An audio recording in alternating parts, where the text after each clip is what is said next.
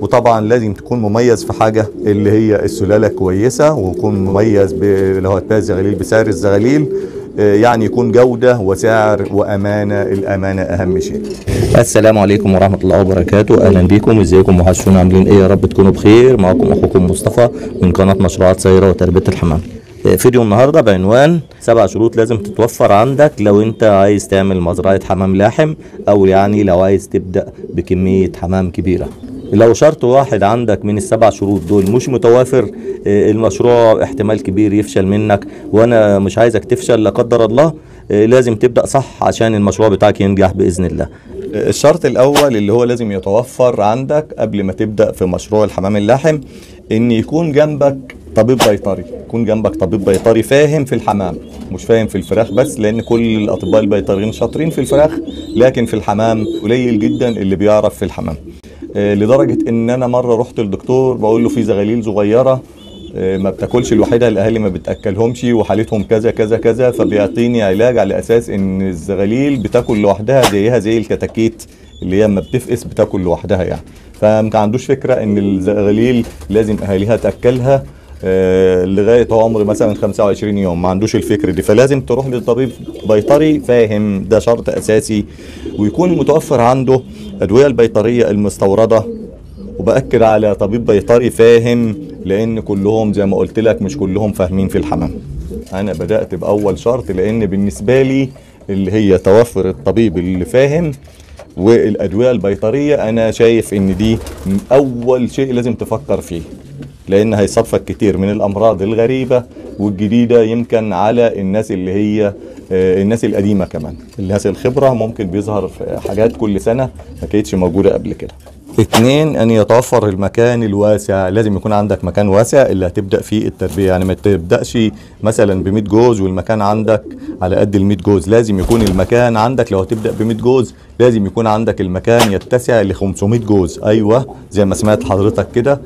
ليه بقى هقول لك ليه يكون عندك المكان واسع؟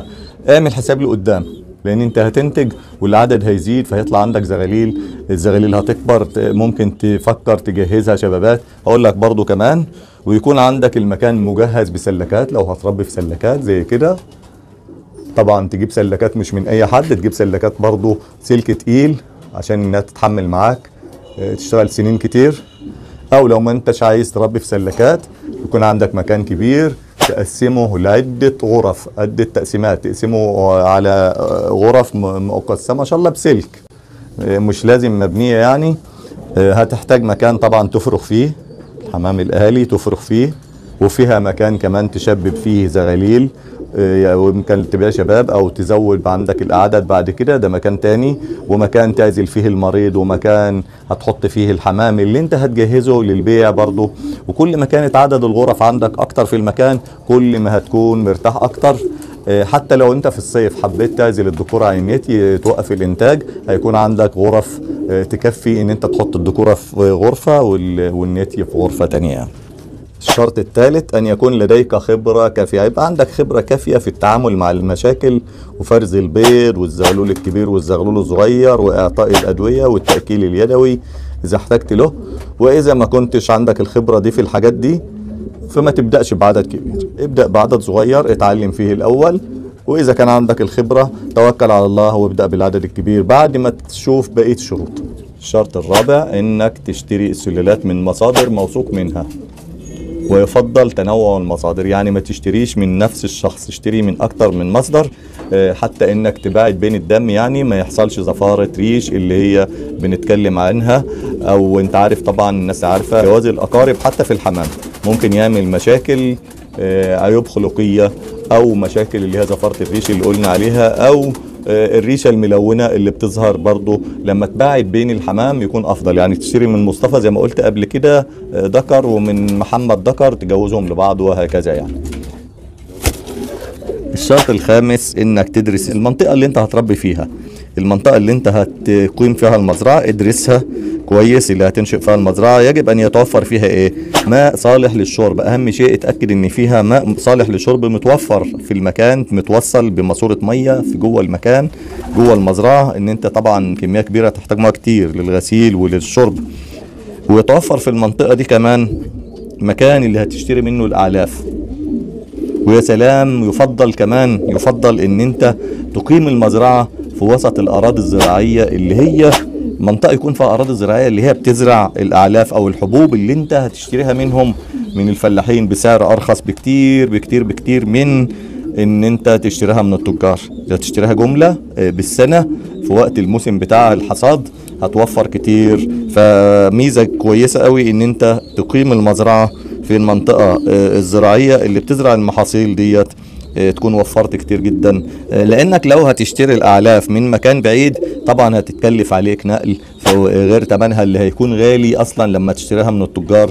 فطبعا هتتكلف عليك زيادة جدا زيادة في السعر وزيادة في النقل. فيصبح المشروع بتاعك أنت بدون جدوى مش هتستفاد حاجة. فلازم تفكر وقتها إنك تشتري من الأرض مباشرة من الأراضي الزراعية يكون أوفر لك كتير جدا جدا جدا. الشرط السادس وهو تسويق الحمام. طبعا آه، إن شاء الله يعني إن أنت هتطلع إنتاج وهتسوق الحمام. إذا كنت هتبيع زغاليل آه، طبعا المزرعة كبيرة فهتطلع زغاليل كتير بإذن الله.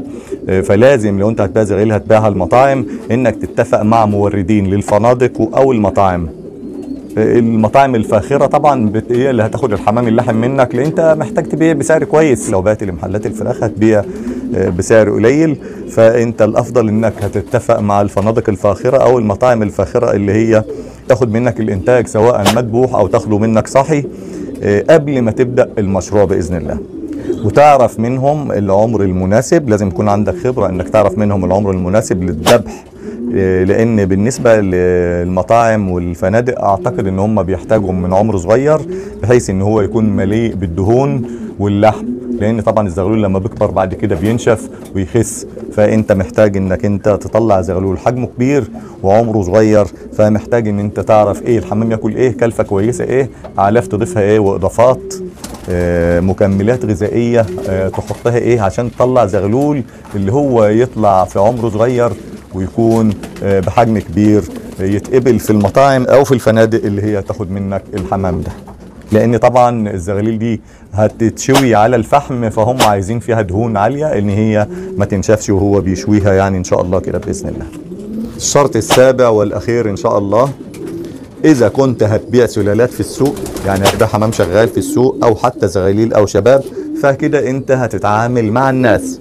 أنت هتتعامل مع كل الناس. هيجي لك من كل الفئات الشعب.